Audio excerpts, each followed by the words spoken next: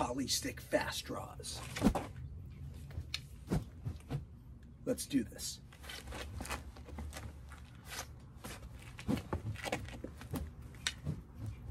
Okay, so I had the opportunity to go to a 14 hour training.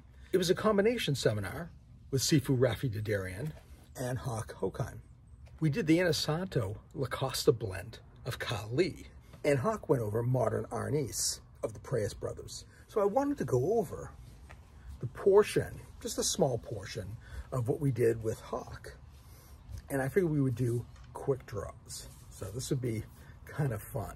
And since I'm shooting this on Veterans Day, thank you to all who served. So first off, you have to start out with whether you want to do a cross draw.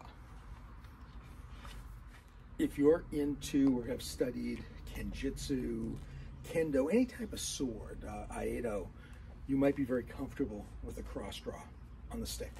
Traditionally, it might be carried more here. And there are different ways we can draw from here. The first thing we want to look at though is our stance. So Hock called this the stupid stance or just the non-ready stance where you normally be in, where you're just standing around at the bus stop. But you might be standing this way or this way. Who knows, maybe you're just standing around like an underwear model in a department store ad. So let me show you a same side draw first. So the easiest way to draw this is just to draw it up. The problem is it's harder to fight with it in this grip.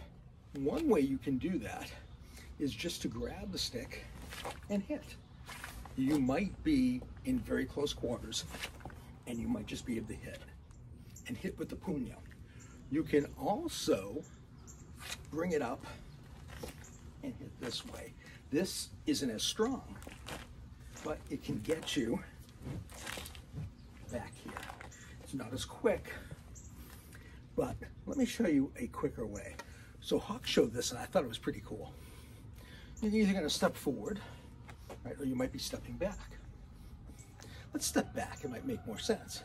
Stepping back, as the person's coming in, we're gonna draw this out and we're just gonna go to our knee. Just hit down, let your hand slide down so that you have about a fifth's length for the punyo.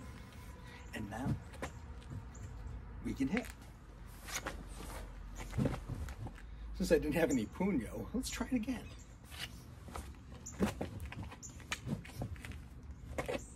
Since I've done a good amount of sword, I find a cross draw really suits me.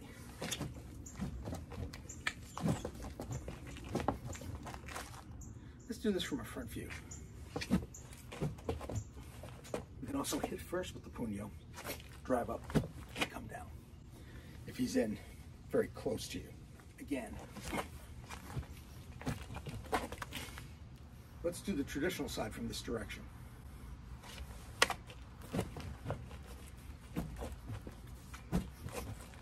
Or this version. Or this version.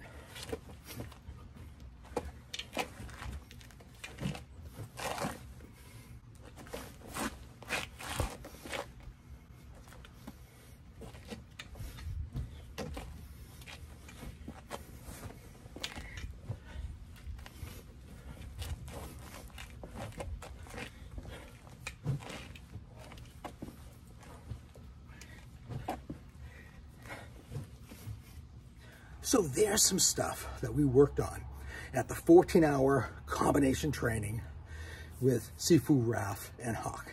I'm just giving you my perspective on what I saw and what I practiced and some stuff that you can practice at home. I certainly would highly recommend that you take seminars with either of those gentlemen, preferably both.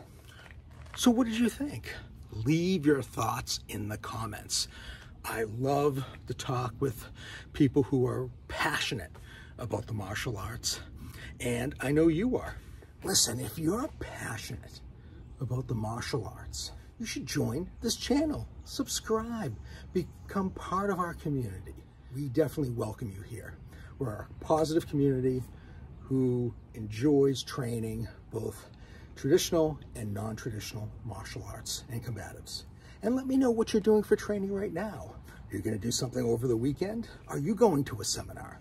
Let me know in the comments. And whatever you're going to do this weekend or whenever you're watching this video, just don't forget, keep training. I'll see you next time.